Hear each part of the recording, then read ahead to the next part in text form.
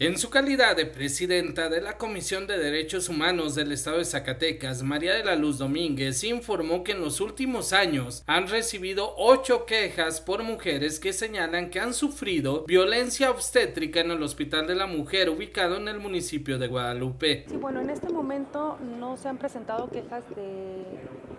usuarios del Hospital de la Mujer ubicado en Guadalupe. Sin embargo, sí debo señalarle que eh,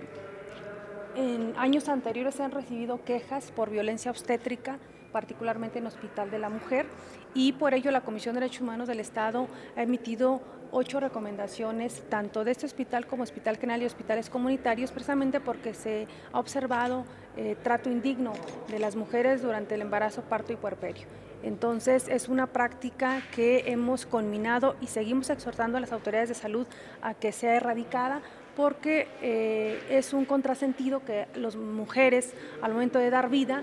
pues mueran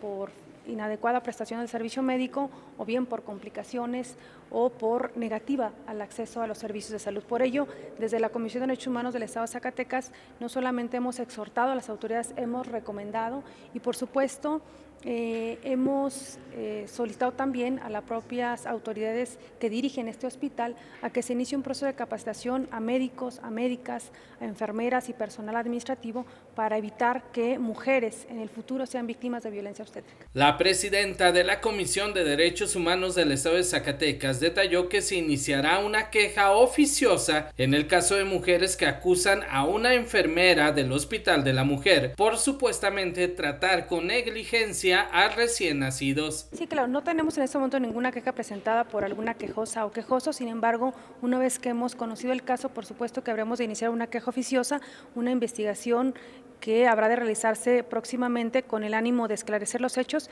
y en el momento procesal oportuno emitir las resoluciones correspondientes. Con imágenes de Leazar Soriano para B15 Zacatecas, Alfredo Jiménez.